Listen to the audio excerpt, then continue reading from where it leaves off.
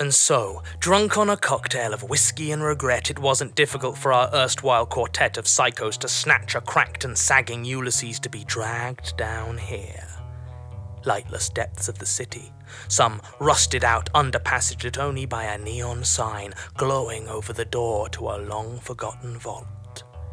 A sign that reads Penelope. Bam! The biggest of the suits slams his fist into Ulysses' face again and repeats the question. What's the code to the vault, asshole? Ulysses just bleeds at the fucker, so the big guy's fist comes down again. This continues for some time. Why is it labelled Penelope? Who is she? This question from a pale, thin young man at the back, altogether unsuited to the rough company he's running with. He's answered by an old motherfucker off to the corner. Dark glasses hiding blind eyes. She's not living anywhere in the city, and you won't find any record of her in the Acheron.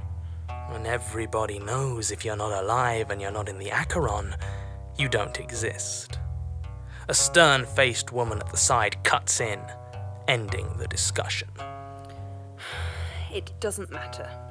What matters is that we are being very well paid to retrieve whatever is inside it. And I doubt any of you want to fail an Olympian. At this point, some words of explanation are needed.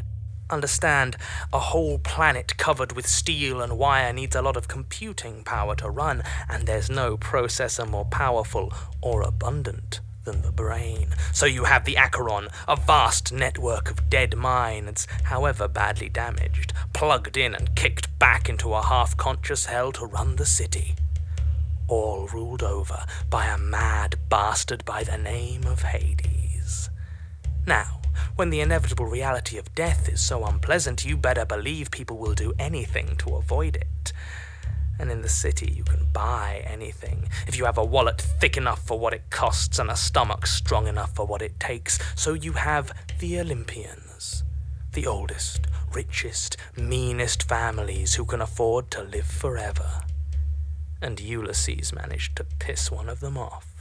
Shortly after the war, our hero conceived some ill thought out revenge on Poseidon Industries, one of the architects of the conflict decided to steal something from them.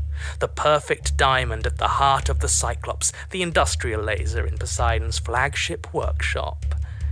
Wasn't a great plan. Just got drunk and walked in.